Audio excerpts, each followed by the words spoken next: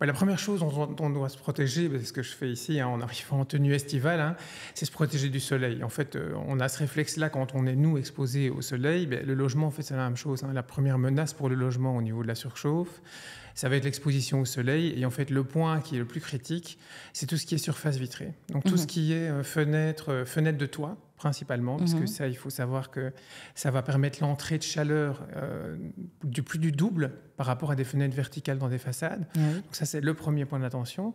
Et les autres fenêtres, eh bien, on va essayer vraiment de, les occulter, d'empêcher le soleil de passer à travers ces fenêtres, idéalement depuis l'extérieur, donc même mhm. si on a des rideaux à l'intérieur des stores, on peut les fermer toute la journée, ça c'est déjà bien, c'est mieux que rien. Mhm. Mais par contre, l'idéal, c'est vraiment de le stopper à l'extérieur. À l'extérieur.